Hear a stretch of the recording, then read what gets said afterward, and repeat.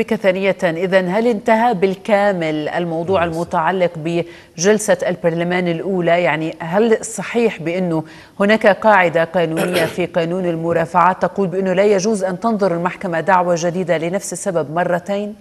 صحيح. صحيح.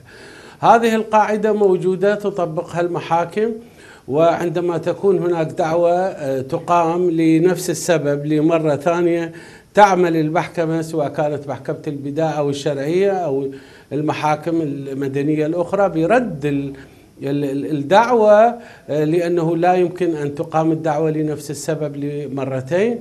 والمحكمة الاتحادية معروف أنها تعمل وفقا لقانون المرافعات وتطبق قانون الإثبات.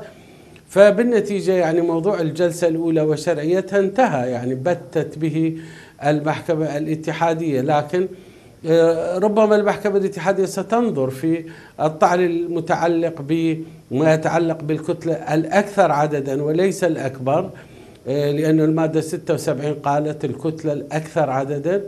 آه، الطعن انصب كما ذكر التقرير هل تقدم الكتلة الأكثر عددا إلى رئيس السن أم إلى رئيس المنتخب؟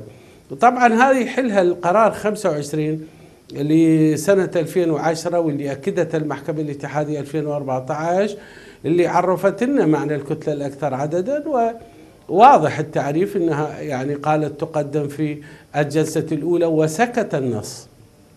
طبعا هنا ستنا آه، يعني أيضا تغير حصل في قانون رقم 9 لسنة 20 قانون الانتخابات فيما يتعلق بعدم التنقل وعدم جواز التنقل. يعني لربما المحكمة الاتحادية ستعيد تفسير المادة 76 من الدستور ويكون تفسيرها يختلف عن التفسير 25 اللي عمل فيه 10 وهذا جائز وفق الفقه الدستوري.